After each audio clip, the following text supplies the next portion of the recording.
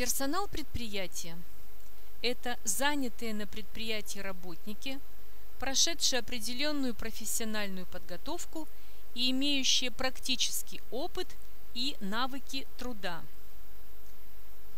Рассмотрим рисунок, характеризующий структуру персонала предприятия. Первую группу составляют промышленно-производственный персонал. В свою очередь он делится на рабочих, основных и вспомогательных, и на служащих, руководители, специалисты, технические исполнители. Также на предприятии может быть и непромышленный персонал – не связанный с процессом производства.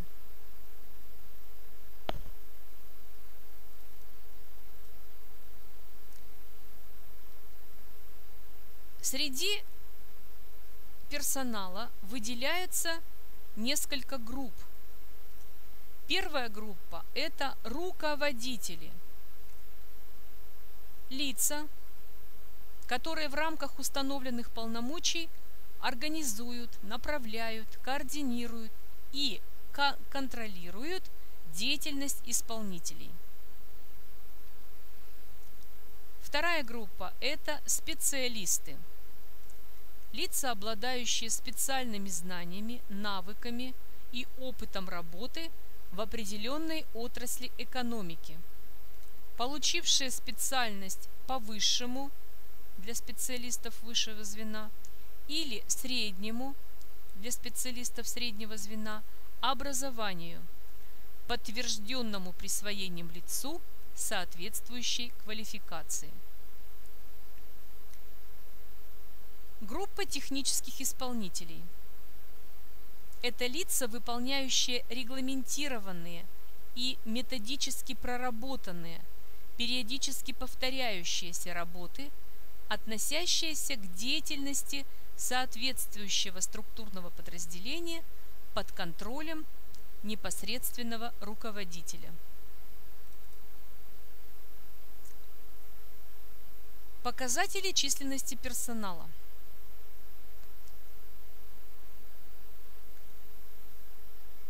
Первый показатель называется списочная численность. Это численность работников списочного состава – на определенную дату с учетом принятых и выбывших на этот день работников. Второй показатель – явочная численность.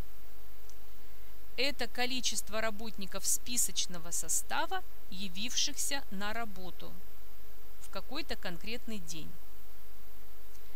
Третий показатель – среднесписочная численность рассчитывается как явочная численность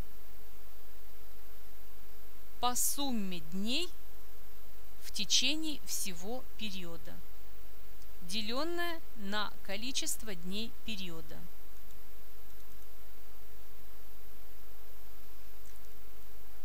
Качественные характеристики. Профессия, специальность, квалификация и должность.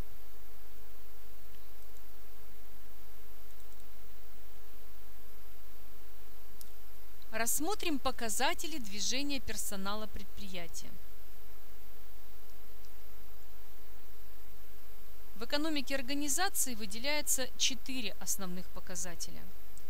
Первый показатель – это коэффициент выбытия кадров – Второй. Коэффициент текучести кадров. Третий. Коэффициент приема кадров. И четвертый.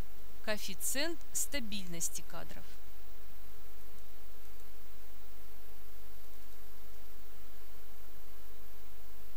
Как же рассчитываются эти коэффициенты? Посмотрим на формулы. Первый коэффициент – коэффициент выбытие кадров. Сокращенно К, ВК. Это отношение количества работников, уволенных по всем причинам за данный период РУВ, к среднесписочной численности работников за тот же период R, умноженное на 100%. Коэффициент текучести кадров КТК – это отношение численности работников предприятия, цеха, участка, выбывших или уволенных по неплановым причинам, по собственному желанию и из-за нарушения трудовой дисциплины, деленное на среднесписочную численность за тот же период и умноженное на 100%. Следующий показатель – это коэффициент приема кадров – КПК это отношение количества работников, принятых на работу за данный период, к среднесписочной численности работника за тот же период, умноженное на 100 и в процентах. Коэффициент стабильности кадров. КСК характеризует уровень управления производством как на предприятии в целом, так и в отдельных подразделениях. Рассчитывается по формуле единица минус R1 УВ – это численность работников, уволившихся по собственному желанию и из-за нарушений трудовой дисциплины за отчетный период. В знаменателе R плюс RP. R – это у нас среднесписочная численность работников, РП – это среднесписочная численность работников, Р за предыдущий период. То есть два периода здесь складываются.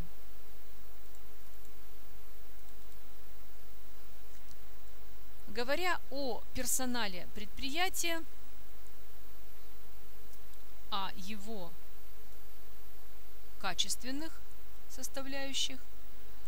Необходимо поговорить еще о двух показателях. Это производительность труда и выработка.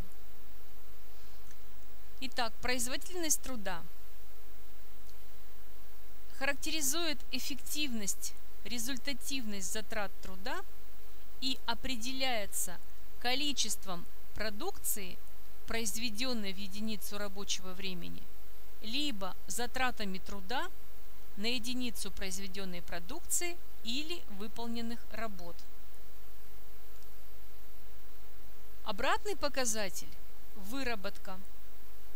Это количество продукции, произведенной в единицу рабочего времени, либо приходящееся на одного среднесписочного работника или рабочего за определенный период – час, смену месяц, квартал, год. Формула В выработка равняется ОП объем произведенной продукции в натуральном или стоимостном выражении, деленное на Т. Т – это время, затрачено на производство всей продукции. Норма часов или человека часов.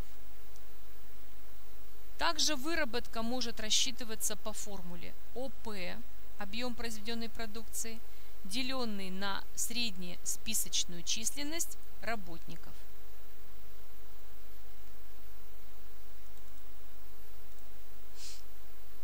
Трудоемкость.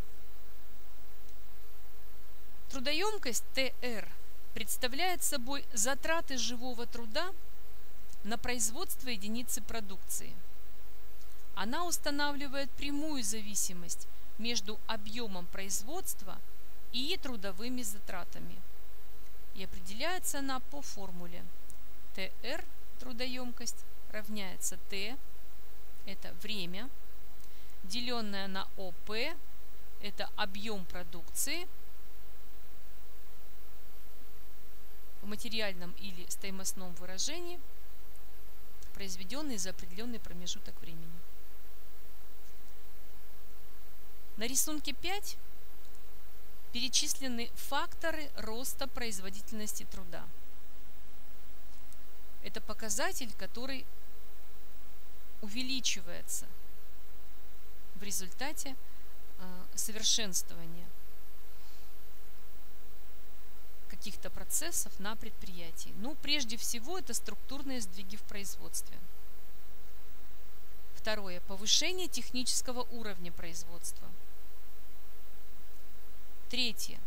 Улучшение организации производства, труда и управления. Четвертое. Увеличение объема производства продукции. Пятое изменение способов добычи природных ископаемых и природные условия. И шестое – отраслевые и прочие факторы.